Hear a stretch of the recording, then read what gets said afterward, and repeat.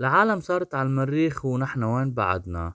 جملة يرددها الشعب اللبناني للإشارة إلى تخلف لبنان عن مواكبة التطور والتكنولوجيا مما جعله يحتل موقعا متأخرا في مجال الاستثمار في قطاع التكنولوجيا والمعلومات. بلشت الأزمة تقريبا من لما بلشت كورونا. بلشت مع ازدياد الطلب على التكنولوجيا. وهذا الازدياد خلى أسعار القطع التكنولوجيا والمايكروشيب يغلى. اللي زاد الطين بلة بلبنان هو الأزمة الاقتصادية اللي صارت اللي خلى الناس بطل فيها تشتري. الشباب هم الفئة الأكثر اهتماما في التكنولوجيا أين هم اليوم من التطور التكنولوجي؟ اليوم الشباب كتير عم يعانوا من أزمة. إنه ما فيهم يشتروا قصص تكنولوجيا والكترون وتجهيزات إلكترونية بسبب الأزمة الاقتصادية الموجودة بالبلد. هيدي الأزمة أزمة الدولار.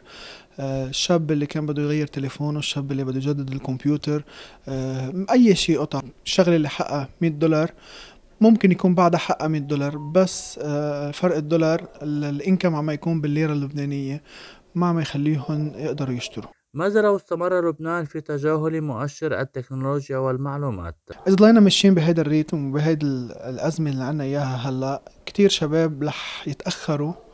آه، في كتير تكنولوجيا حتكون نازلة بالعالم مش حيقدروا يستفيدوا منها ويواكبوا هذا التطور. نحن حنتأخر كتير عن الدول الباقية وحنصير دولة متخلفة نوعا ما تكنولوجيا لأنه ما عادش في إمكانية للمواكبة.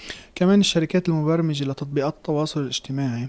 على طول عم تنزل تحديثات جديدة على برامجها لتكون تواكب أجهزة أحدث وفيرجنز أحدث.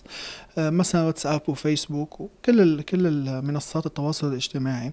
لما بتنزل update جديد هذا ال update في عندها minimum requirement للأجهزة اللي عم تمشي عليها. آه، الجهاز القديم اللي عمره 10 سنين مثلا و8 سنين و5 سنين ما بيقدروا يمشوا هذا ال application وبظل أزمة كورونا المستجدة هلأ بالعالم صار في طلب زيادة على آه، على ال online education وال meeting online وبصفة إنه الأهل والعالم ما قادرين يطوروا ويحدثوا هيدي الأجهزة حتى تواكب ال application اللي بتشتغل اونلاين آه عم يصير في تأخر دراسي أوقات. انحدار قطاع التكنولوجيا والمعلومات في لبنان يقابله تطور في دول العالم. يجعل لبنان في مصاف الدول المتخلفة تكنولوجيا مع عدم قدرة الشعب اللبناني على مواكبة التطور واللحاق به.